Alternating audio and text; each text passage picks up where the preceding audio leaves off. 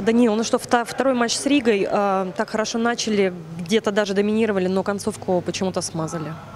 Ну, чуть-чуть не повезло, не реализовали свои моменты в игре. А, Меньшинство подвело, забили. А, Много видеопросмотров сегодня было. Могло ли нервное напряжение сказаться на дисциплине? Да не сказал бы, все было объективно. Судьи вроде все правильно сделали. Если смотреть на обе игры, в целом, вот в каком компоненте уступили сопернику? Да я не сказал бы, что уступили. Возможно, усталость поднакопилась. А так, я думаю, будем дальше работать. Думаю, э, реабилитируемся.